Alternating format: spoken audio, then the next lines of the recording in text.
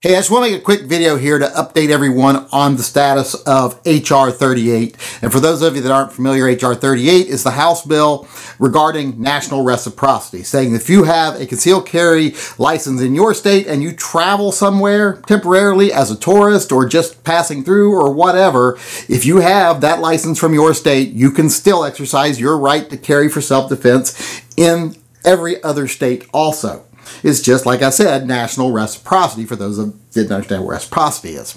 Well, I watched the whole hearing today, and it was at the same time incredibly boring and infuriating. It's hard to believe that those two things can go hand in hand, but it was. Some of the ridiculous stuff said, some of the stuff that was tried to be put in as an amendment was kind of aggravating to say the least.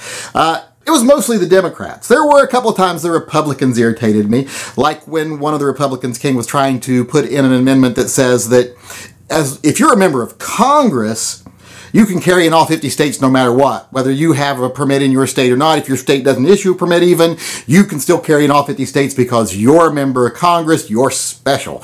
Which goes to show that even the pro-gun politicians are still elitists. They think they're special. That kind of aggravated me. But that I was willing to overlook because it's not that big of a thing. Doesn't really take any rights away from us. Just gives them special rights, which I don't agree with. Uh, then there were a bunch of other craps. there was a bunch of other stuff said that was just ridiculous. Like there's this one frizzy-headed guy from Maryland. I forget his last name, but like Rakin or something. But uh, he would kept arguing that we're violating states' rights. It's funny how Democrats are only pro-state right when it's them taking rights away from citizens in their state or people from other states that visit their state.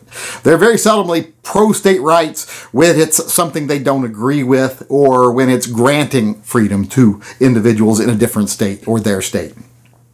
He's arguing this just completely tramples it, blah, blah, blah. It takes away the rights of states. Well, the states don't have the right to violate the Constitution. No state has that right. And he kept trying to muddy the waters by comparing it to other things like, well, if someone can smoke marijuana in one state, then they'd have to be able to smoke marijuana in every state. Well, no, that's not the same thing. It's not a fair comparison. One's a constitutional right. Uh, one is a law that's been passed in your state by referendum or by voters, etc. It's not something that's a constitutional guarantee. The Second Amendment is a constitutional guarantee. So, not comparable. So they kept trying to muddy you the waters that way, and they kept trying to change like the title of the bill to the National Trample on State Rights Bill or something like that.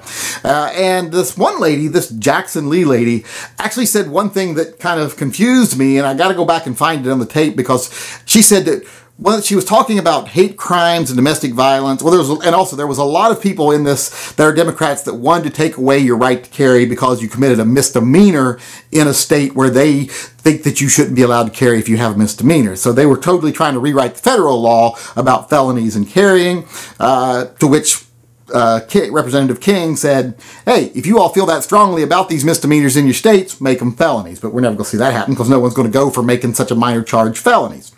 But uh, this lady, Jackson Lee, she said one thing that really puzzled me. She said that when she was talking about domestic violence and hate crime, she's like, we all know that when someone is involved uh, uh, in domestic violence and they own a handgun, that 500% of the time it ends in homicide. Which I was like, how is that even statistically possible? Uh, for one, there's nothing greater than 100%. and and I'm pretty sure that every person that ever gets a domestic violence charge doesn't commit murder. Uh, so I'm not. I don't. I'm, what? Just like someone needs to contact her and be like, uh, what?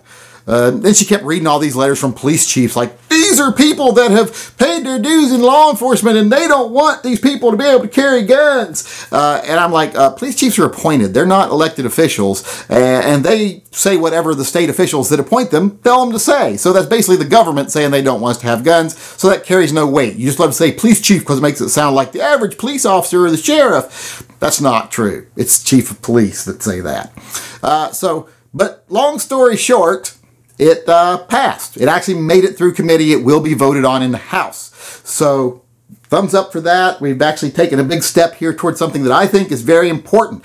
A lot of people might think national reciprocity is not that big a deal because they don't go anywhere. But it's a big deal to everyone, even if you don't go anywhere, because states like California and New York, if they have to start allowing people from other states to carry in their state and those people aren't committing crimes, it's going to be hard for them to keep selling their own populations on the fact that we have to disarm you to prevent crime. They're going to start saying, hey, why can these people defend themselves? And hey, these people aren't committing crime, so why can't I be trusted with a gun? So I think national reciprocity is a, is a first step towards crumbling anti-gun laws pretty much everywhere in this country. So I'm a big supporter of it. So we got it through committee today, but you still need to call your representatives. Call your representatives, let them know, vote yes on H.R. 38.